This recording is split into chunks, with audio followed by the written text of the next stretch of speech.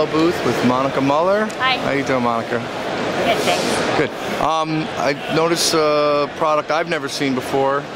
Um, so it's a filter on the top of the tank. You tell me it's been around for how long? About 25 years. 25 years, but I'm first seeing it, and a lot of other people probably are unfamiliar with it as well. Uh, can you tell me about, about that? Sure.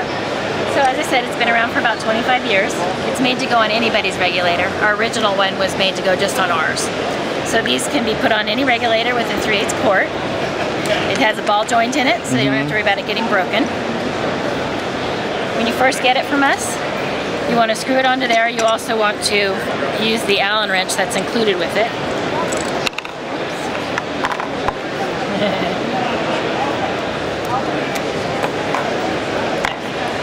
And that's so you can hit the right spot. That's what locks it onto it. Otherwise, it, al it always moves. But if you lock it on, then it's just going to stay on to the first stage.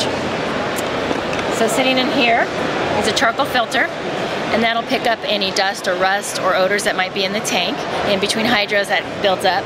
Uh, they'd also pick up oil. It'll spot it if you've got some oil in the present. If that happens, you need to replace it right away. Otherwise, it's good for about 50 dives.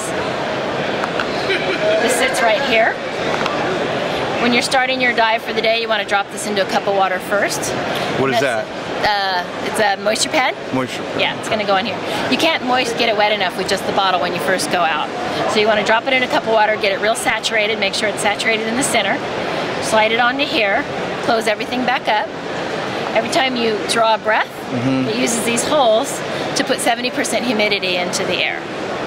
So every breath you take is moisturized. It's not meant to be a drop of water, a drink of water.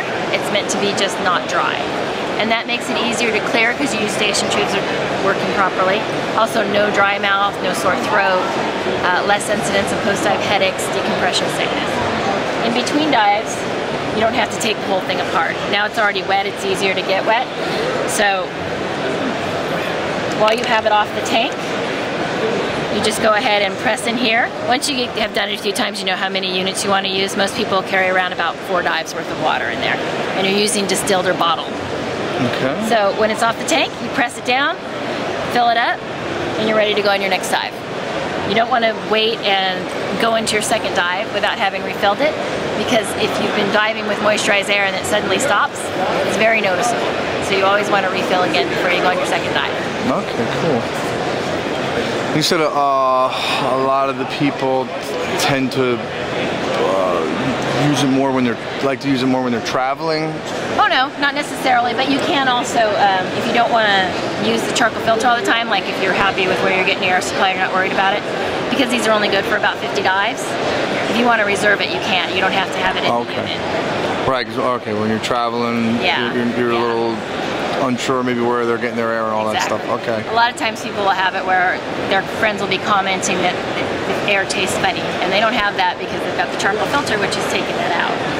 Okay. Awesome. Well, uh, have a great show and uh, Thank you. thanks. Bye-bye.